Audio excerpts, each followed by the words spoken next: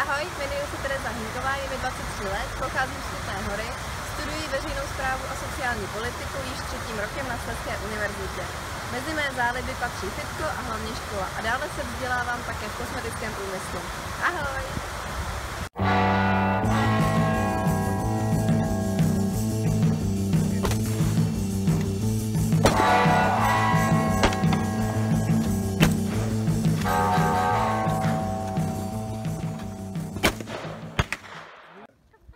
budou mít modřinu, ale super.